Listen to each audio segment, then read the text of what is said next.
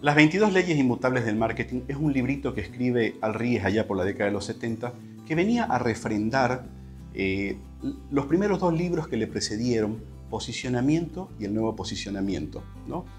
Este libro también hace mucho enfoque en todo lo que tiene que ver con la mente del consumidor y la posición que gana, digamos, las marcas dentro de ella. ¿sí? Son 22 leyes y ahorita veámoslas de qué se tratan. ¿no? La primera dice, nos habla la ley del liderazgo, es decir, no, las marcas que venden más no son las marcas que hacen las mejores cosas, sino la que llega primero. Por ejemplo, Kleenex, este, ACE, Aspirina, son marcas que llegaron primero al mercado, se dieron a conocer y el día de hoy, digamos, no sabemos si son las mejores o no, pero sí, ya están muy clavadas dentro o están muy penetradas dentro de la mente del consumidor. La siguiente ley es algo que se llama la ley de la categoría. Es decir, si vos no podés liderar una categoría o una categoría y hay muchos competidores, hay que crear una nueva. ¿no? En el libro colocan el, libro eh, el ejemplo de 7up. ¿Qué pasó con 7up? 7up estaba en el puesto número 11 en las, en las categorías de las bebidas en Estados Unidos, ¿no es cierto? Entonces ellos trataron, hicieron una comunicación muy agresiva, tratando de separarse de las bebidas de cola, con lo cual eso les hizo, es decir, empezó a decirle a un mercado, bueno, yo soy una bebida no cola, las otras son las colas, yo soy la no cola. Y con esta sencilla estrategia, 7 pasó de ser el puesto número 11 en venta en Estados Unidos a llegar al puesto número 3. Muy interesante. Eh, la ley de la mente. Lo que nos dice es que la ley de la mente nos dice que es mejor estar primero en la mente del consumidor que estar primero, digamos, en el punto de venta. ¿Qué quiere decir esto? ¿No? Quiere decir que no importa cuánto producto tengamos en un supermercado, cuánto... Finalmente, en el libro, por ejemplo, colocan el ejemplo de la marca Xerox, ¿no? que fue una marca, digamos, que en su momento eh, fue muy importante vendiendo fotocopiadoras y comienza a diversificarse. Y a pesar de que todos los puntos de venta, es decir, donde eh, comienza en algún momento a fabricar computadoras, y a pesar de que en todos los puntos de venta de computadoras pusieron colocaron grandes cantidades, de, acopiaron grandes cantidades de este producto, en la mente, como en la mente del consumidor no estaba la marca cero, la gente simplemente entraba y no la compraba. ¿sí? Entonces cero fue un gran fracaso en lo que ellos no estaban en la mente del consumidor, es decir, en las computadoras, donde, sí ellos eran grandes, eran en el tema de la fotocopiadora. ¿no? Eh, la cuarta ley dice la ley de la percepción. Dice, la guerra, el marketing no es una guerra de productos es una guerra de percepciones, ¿no? Por ejemplo, si yo digamos la marca Volvo, que Volvo básicamente está, aquí en nuestro país casi no se vende, pero por ejemplo en Norteamérica, en Canadá, países que tienen mucha salida, son vehículos, es un vehículo que está asociado directamente con la seguridad.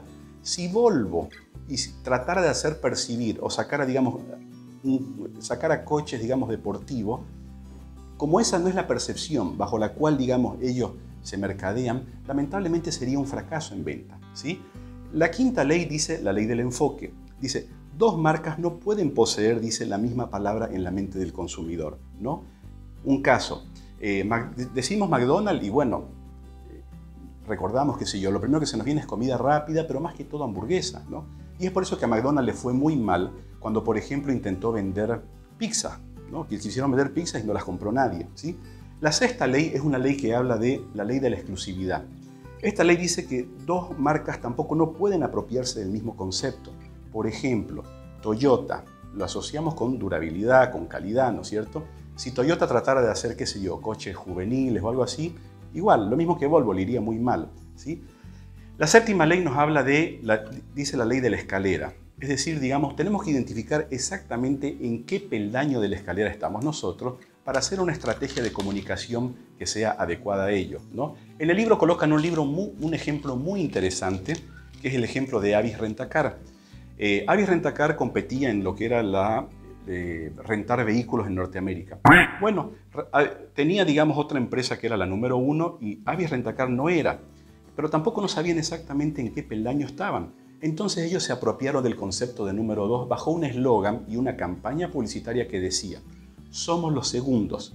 Por eso nos esforzamos más. ¿Se entiende? Entonces, disimuladamente lo que hizo Avis Rentacar y de manera muy, de manera muy inteligente es que la mente del consumidor estuviera la primera marca y una segunda opción claramente, digamos, categorizada como la segunda, que eran ellos. Eso les funcionó muy, muy bien y realmente se convirtieron en la, en la segunda marca favorita. ¿sí?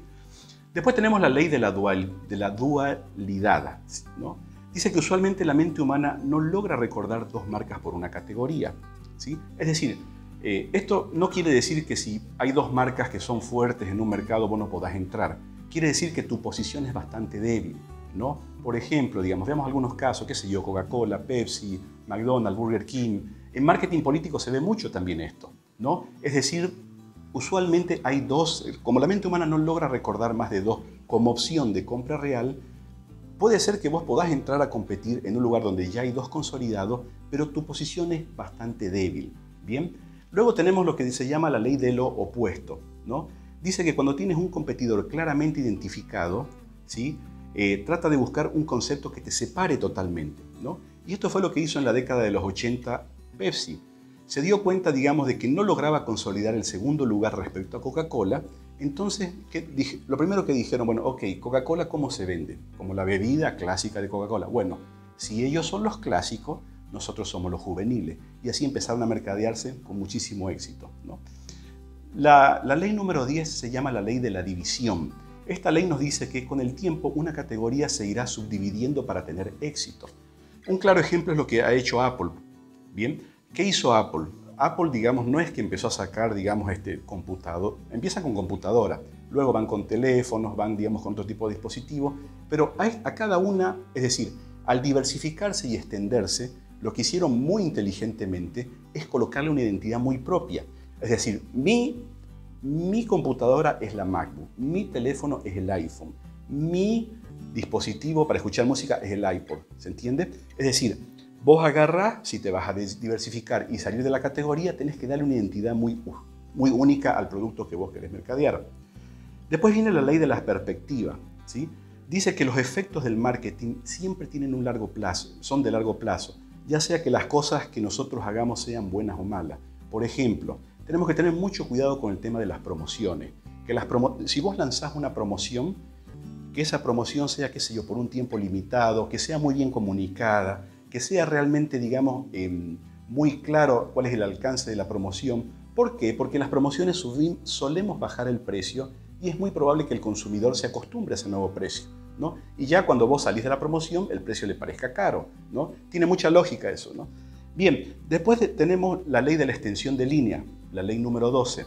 Esta ley nos dice que todas las marcas que son exitosas tienen una tentación irresistible por ampliar nuevas líneas de productos, ¿no? Hemos visto, por ejemplo, el ejemplo de Xerox, ¿no? Lo mismo le pasó a IBM. IBM, una marca muy consolidada, digamos, en la fabricación de software y de y de computadoras, en algún momento quisieron entrar también a vender celulares y les fue muy mal. ¿no? ¿Por qué? Porque en la mente del consumidor IBM no tenía nada que ver con celulares. ¿sí? Bien, la ley número 13 es la ley del el sacrificio. Dice que una marca para realmente tener mucho éxito debe sacrificar tres cosas. Número uno, debe sacrificar algunas líneas de producto, ¿no? lo que hablábamos ahorita. Es decir, digamos, la tentación de no crear nuevas líneas cuando no nos van a recordar. Número dos, sacrificar algunos mercados. No tratemos de venderle a todos los mercados porque finalmente eh, cada producto tiene un mercado específico. Y número tres, no hacer cambios radicales, que es una gran tentación, ¿no es cierto? Eh, cuando hablamos de cambios radicales puede ser, digamos, de penetrar en mercados, digamos, que sean geográficamente muy grandes, pero cambios que no estaban, digamos, pensados en cómo nació el negocio. Bien, la ley número 14 habla de, eh, dice la ley de los atributos. Para, dice, para cada atributo existe algo que, un atributo muy opuesto que también es muy específico. ¿A qué se refiere esto? Puede ser, digamos, que en una misma categoría compitan dos marcas, ¿no es cierto? Pero estas dos marcas en algún, tienen que buscar la forma de diferenciarse también para no entorpecerse y para no confundir al consumidor. ¿no? Eso fue lo que pasó con Ferrari y con Lamborghini, dos marcas de coche de carrera que se dieron cuenta que tenían bastante confundido a los consumidores y Ferrari se decantó por autos un poquito, digamos, más, eh, un poquito más, un poquito más elegante, y Lamborghini se, se, decantó, digamos, por un diseño más moderno. Bien, después viene la ley de la franqueza. Esta ley nos dice de que las marcas que son honestas y francas en un mercado y le dicen la verdad al consumidor son marcas mucho más exitosas. ¿sí? Y hay muchos ejemplos en el libro, pero hay uno que me encanta que habla de lo que hizo Johnson Johnson.